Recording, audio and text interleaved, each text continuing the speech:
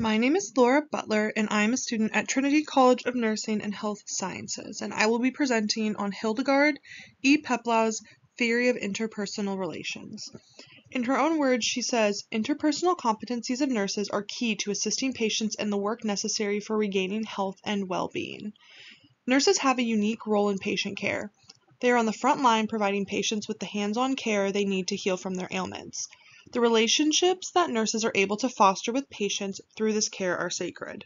Being a patient is incredibly vulnerable, and the trust they put in nurses to care for them is something that must not be taken lightly. Peplau's theory of interpersonal relations outlines how nurses should approach relationships with patients in order to facilitate healing. A little bit about who she was as a person. She was born in Reading, Pennsylvania on September 1st, 1909 and witnessed the influenza pandemic in 1918. This shaped how she viewed death and illness, as well as her practice as a nurse. She passed away in her sleep at the age of 89 in her home in Sherman Oaks, California, on March 17, 1999. A couple of fun facts about her is that she is regarded as the mother of psychiatric nursing due to her work with mental health patients and how the implementation of her theory helped them, and she also served in the Army Nurse Corps as a first lieutenant in World War II and used her experiences with treating shell shocked soldiers suffering from PTSD during World War II and how she treated her patients. For her education, she graduated in 1931 from the Pottstown Hospital School of Nursing with her diploma in nursing. In 1942, she graduated from Bennington College with a bachelor's degree in interpersonal psychology. She went on to obtain her master's degree in 1947 and her doctorate of education in 1953 from Columbia University. Finally, she obtained a certificate in psychology from the William Alanson White Institute in 1953. Hildegard E. Peplau was very active in her career and from 1948 to 1953, she directed the graduate program of psychiatric nursing at Columbia Teachers College.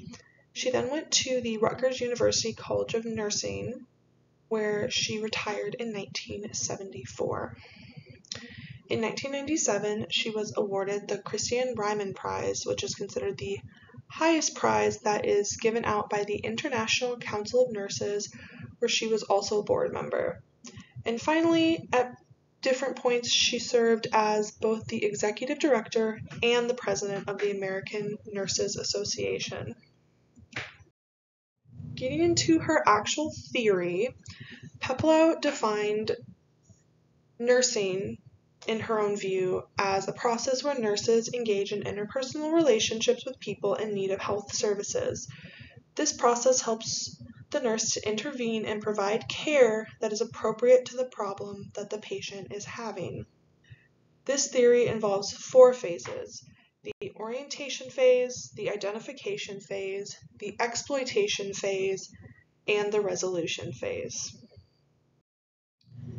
The first phase of this theory is the orientation phase.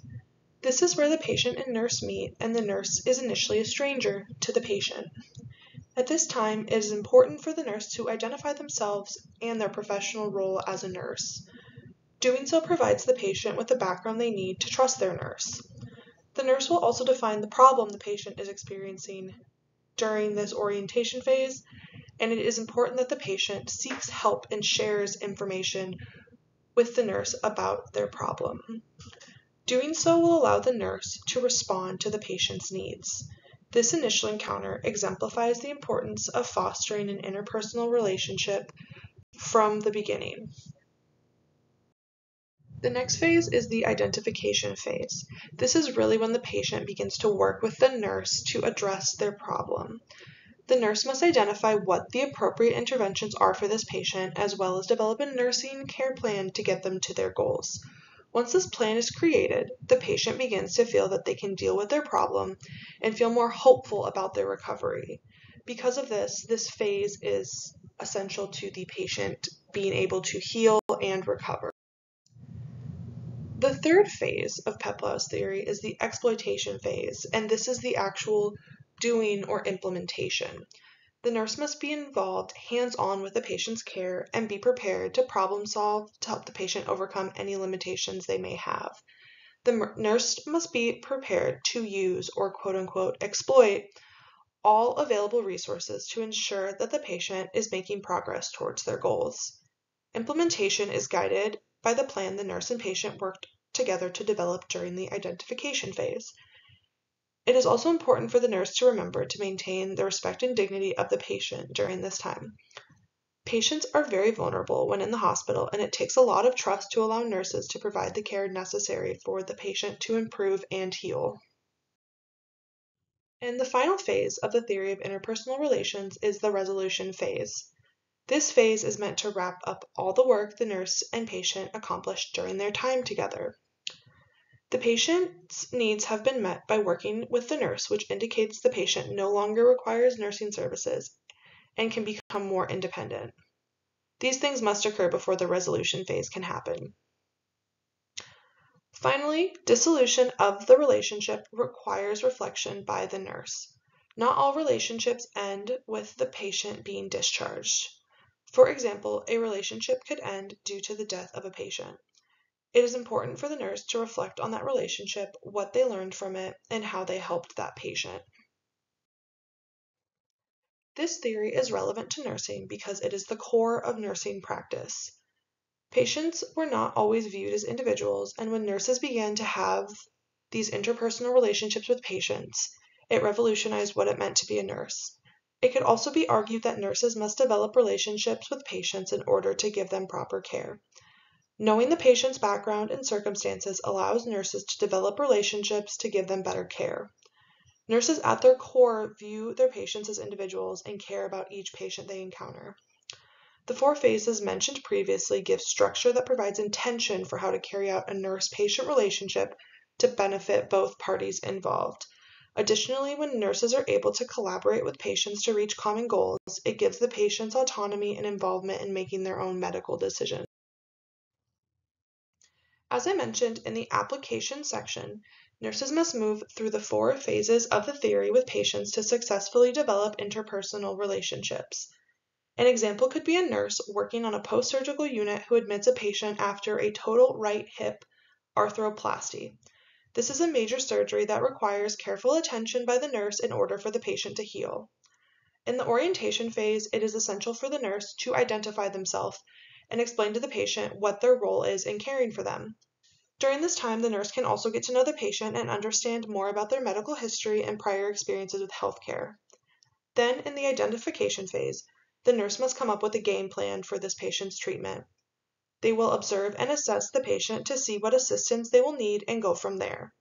This could include interventions such as an abduction pillow to help stabilize the hip the patient had surgery on and medication to help manage their pain. In the exploitation phase, the nurse implements the plan they come up with in the identification phase. This is done in collaboration with the patient to involve them in the healthcare process and help them maintain their autonomy. Finally, in the resolution phase, the patient no longer needs nursing care in the hospital and is ready to be discharged. At this time, their relationship with the nurse ends.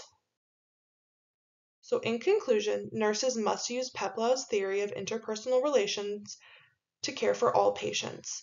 Developing relationships with patients is essential in understanding patients and working together as a team to reach their goals. The four phases of this theory outline how a nurse should approach each patient relationship to provide the necessary resources and expertise to ensure their patients are successful in dealing with the problem that brought them to the hospital. In implementing this theory, nurses are established as trusted professionals and patients are established as individuals who need personalized care to thrive and heal. And a couple discussion questions are how could a patient who has barriers to communication be approached to establish an interpersonal relationship with them? And if this theory did not exist, how might that impact nursing care and how nurses perceive the patients they care for? And here are my references. Thank you.